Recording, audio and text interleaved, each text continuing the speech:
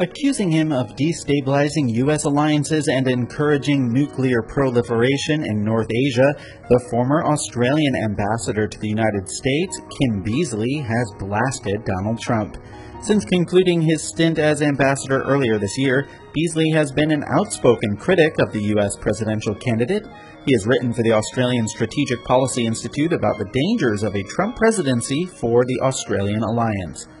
The former Labor leader told ABC's AM on Wednesday a Trump presidency would basically trash the structure of alliance and trade relationships in our region.